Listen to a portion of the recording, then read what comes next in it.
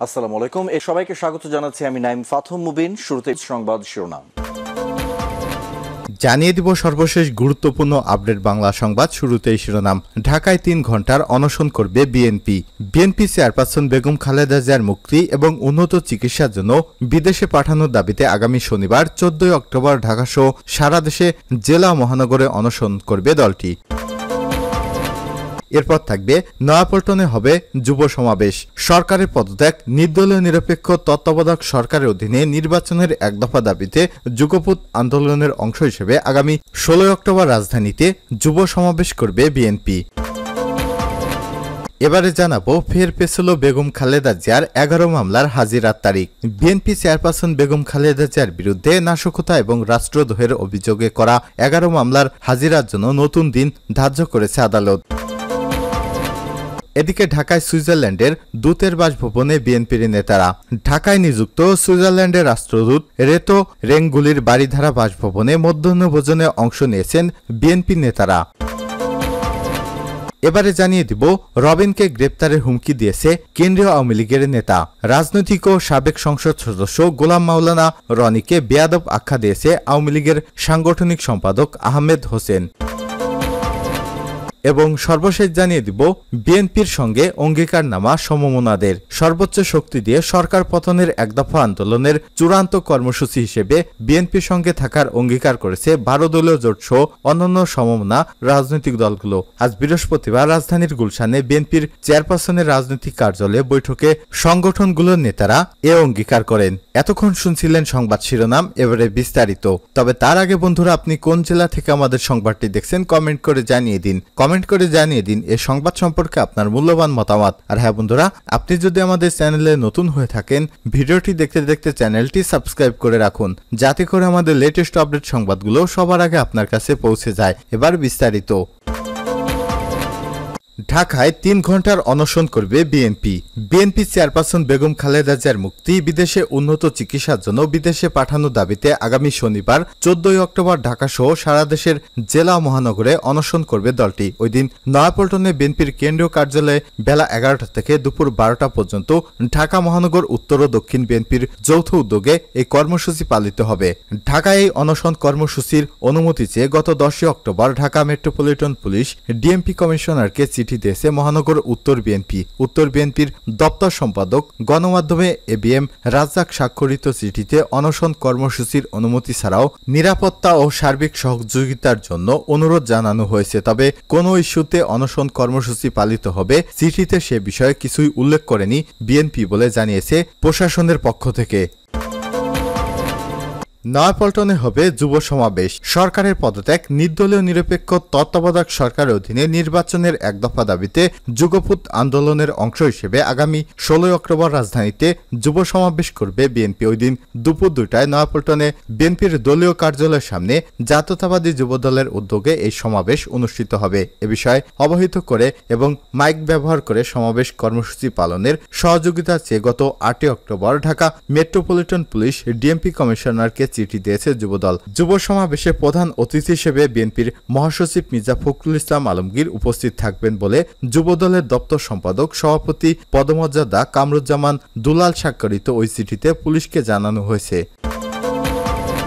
ফের পেছিল বেগম খালেদা জিয়ার এগারো মামলার হাজিরার তারিখ। বিএনপি চেয়ারপারসন বেগম খালেদা জিয়ার বিরুদ্ধে নাশকতা, রাষ্ট্রদ্রোহের অভিযোগে করা এগারো মামলার হাজিরার জন্য নতুন দিন ধার্য করেছে আদালত। অসুস্থতাজনিত কারণে আদালতে উপস্থিত না হয় আজ বৃহস্পতিবার বারোই অক্টোবর ঢাকা মহানগর দায়রা জজ আদালতের বিচারক আসাদুজ্জামান তেরো নভেম্বর দিন ধার্য করেন।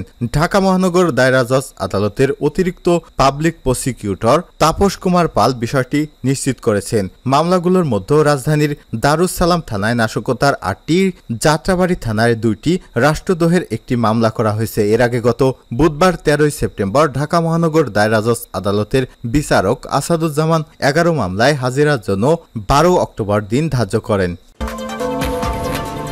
ঢাকায় সুইজারল্যান্ডের দূতের বাসভবনে বিএনপির নেতারা। ঢাকায় নিযুক্ত সুইজারল্যান্ডের রাষ্ট্রদূত রেতো রেঙ্গলির বাড়িধারা বাসভবনে মধ্যভোজনের অংশ নিয়েছে বিএনপির নেতারা। বৃহস্পতিবার দুপুর একটায় তারা সেখানে মিলিত হন। এসব তথ্য নিশ্চিত করেছে বিএনপির মিডিয়া সেলের সদস্য সাইরুল কবির খান। সুইজারল্যান্ডের দূতের আমন্ত্রণে সারা দিয়ে মধ্যভোজনে অংশ নেয় বিএনপির স্থায়ী কমিটির সদস্য ও আন্তর্জাতিক সম্পর্ক বিষয়ক কমিটির প্রধান। আমির খসরু মাহমুদ চৌধুরী বিএনপির সাংগঠনিক সম্পাদক আন্তর্জাতিক বিষয়ক সম্পর্ক কমিটির সদস্য শামাওবায়দ ইসলাম রিঙ্কু এবং তবিউত আওয়াল। মধ্যভোজন শেষে গণমাধ্যমের সঙ্গে কথা বলেন শামাওবায়দ ইসলাম রিঙ্কু। তিনি জানান, দেশের বর্তমান পরিস্থিতি দ্বিপাক্ষিক বিষয় নিয়ে তাদের সঙ্গে আলোচনা হয়েছে সুইজারল্যান্ডের রাষ্ট্রদূতের সঙ্গে। রনিকে গ্রেপ্তারে হুমকি কেন্দ্রীয় আওয়ামী লীগ নেতার রাজনৈতিক ও সাবেক সংসদ সদস্য গোলাম মাওলা রনিকে বেয়াদব আখ্যা দিয়েছে আওয়ামী লীগের সাংগঠনিক সম্পাদক আহমেদ হোসেন।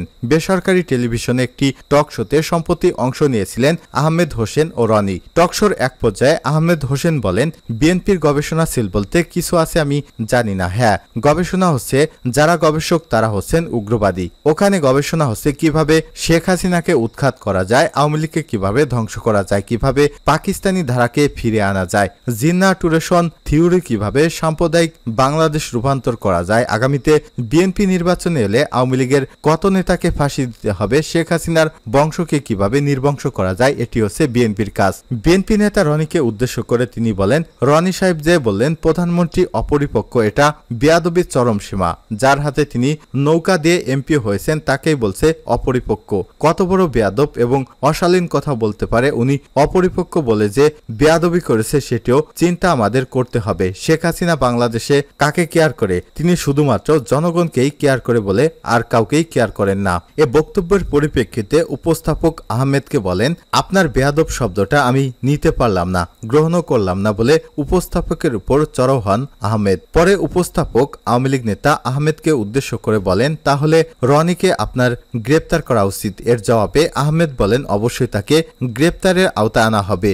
আজ অথবা আগামীকাল তাকে গ্রেপ্তার করা হবে। পরে আওয়ামী লীগ নেতার অভিযোগের বিষয়ে গোলাম মহল্লা রনি বলেন, যারা ক লিখতে কলম ভাঙে দশটা, এসব মানুষ আহমেদ হোসেনকে উদ্দেশ্য করে বলেন, আওয়ামী লীগের নেতৃত্বে আসার পর আজ এই অবস্থা। শেখ হাসিনা বিপদের মধ্যে আছে। আমি বক্তব্য দিয়েছি যে কতগুলো অপরিপক্ক রাজনৈতিক সিদ্ধান্ত, এখানে সব অপরিপক্ক সিদ্ধান্ত শেখ হাসিনা নেন না। ব্যাংক চুরির সিদ্ধান্ত শেখ হাসিনা নেন না। এইসব যে আহমেদ হোসেনের নেতৃত্বে যে কয়টি হয়, কমিটি হয় সেখানে যদি কেউ টাকা পয়সা নিয়ে থাকে, তাহলে সেই সিদ্ধান্ত শেখ হাসিনা নেন না। সারা দেশে ছাত্রলীগের বিরুদ্ধে যে অপকর্মের অভিযোগ এসেছে, সেটি আহমেদ হোসেনদের মতো লোকজনই করেছেন। শেখ হাসিনা করেন নাই। শেখ হাসিনার প্রতি এখনও আপনার গভীর আস্থা আছে, কিন্তু বাকিদের জন্য সরে গেছেন টকশোতে উপস্থাপকের এমন প্রশ্নের জবাবে রনি বলেন, আল্লাহ যখন কাউকে দেশের প্রধানমন্ত্রী বানান, সে যেই হোক না কেন, তার প্রতি আল্লাহর একটা হুকুম থাকে। শেখ হাসিনা যে চেয়ারে বসে আছেন, সেই চেয়ারের মর্যাদা দেওয়া সবারই কর্তব্য। গোলাম মাওলা রনি বলেন, একজন বাংলাদেশি রাজনীতিবিদ এবং সাবেক সংসদ সদস্য দু হাজার আট সালে আওয়ামী লীগ থেকে সংসদ সদস্য হন, পরে দুহাজার আঠারো সালে বাংলাদেশ জাতীয়তাবাদী দল বিএনপিতে যোগদান করেন, পরে যে কোনো ইস্যুতে সমালোচনা করেন তিনি। বিএনপির সঙ্গে অঙ্গীকার সমমনাদের সর্বোচ্চ শক্তি দিয়ে সরকার পতনের এক দফা আন্দোলনের চূড়ান্ত কর্মসূচিতে বিএনপির সঙ্গে থাকার অঙ্গীকার করেছে বারো দলীয় জোটের সমমনা রাজনৈতিক দলগুলো। আজ বৃহস্পতিবার রাজধানীর গুলশানে বিএনপির চেয়ারপারসনের রাজনৈতিক কার্যালয়ে বৈঠকে সংগঠনগুলোর নেতারা এই অঙ্গীকার করে। বিকেল থেকেই বারো দলীয় জোট এবং জাতীয়তাবাদী সমমনা জোট এবং লেবার পার্টির নেতাদের সঙ্গে আলাদাভাবে বৈঠক করা হয়। তিনটি বৈঠকে বিএনপির ভারপ্রাপ্ত চেয়ারম্যান তারেক রহমান লন্ডন থেকে স্কাইপে সংযুক্ত থেকে নেতাদের উদ্দেশ্যে বক্তব্য দেন। বৃহস্পতি এবং শুক্রবার বাকি শরিকদের সঙ্গে বিএনপি বৈঠক করবে। সমমনা জোট এবং নেতারা জানায়, চলমান আন্দোলনের মূল নেতা তারেক রহমানের সঙ্গে এটি তাদের প্রথম বৈঠক। বৈঠকে সরকার বিরোধী চূড়ান্ত আন্দোলনের কর্মপরিকল্পনা নিয়ে আলোচনা করা হয়। শরিকদের মতামত নেওয়ার পাশাপাশি বিএনপির হাইকমান্ডের পক্ষ থেকে তাদের প্রয়োজনীয় দিক নির্দেশনা দেওয়া হয়েছে। তারা মনে করে, চলমান আন্দোলনের ইতিবাচক ভূমিকা রাখবে। জোট নেতারা তারা আরও বলে, বৈঠকে তারা সবাই একমত হয়েছে, চলমান আন্দোলন সফল না হলে দেশে মানুষ দীর্ঘদিনের জন্য ভোটাধিকার হারাবে এবং দেশ দীর্ঘদিনের জন্য অন্ধকার গহ্বরে চলে যাবে। দেশ ও জনগণের স্বার্থে গণতন্ত্র ভোটাধিকার প্রতিষ্ঠার ঐক্যবদ্ধ থেকে চূড়ান্ত আন্দোলনে সবাইকে ভূমিকা রাখতে বিএনপির পক্ষ থেকে আহ্বান জানানো হয়। বারো দলীয় জোটের অন্যতম শীর্ষ নেতা বাংলাদেশ এলডিপির মহাসচিব সাদাত হোসেন সেলিম যুগান্তরকে বলেন, বৈঠকে সব নেতাদের মতামত শুনেন বিএনপির ভারপ্রাপ্ত চেয়ারম্যান তারেক রহমান। আমাদের সঙ্গে কথা বলার জন্য তাকে আমরা ধন্যবাদ জানিয়েছি। ভারপ্রাপ্ত চেয়ারম্যানের সঙ্গে অঙ্গীকার করেছি সবকিছু উজাড় করে সর্বোচ্চ শক্তি দিয়ে সরকার পতনের চূড়ান্ত আন্দোলনে রাজপথে থাকব।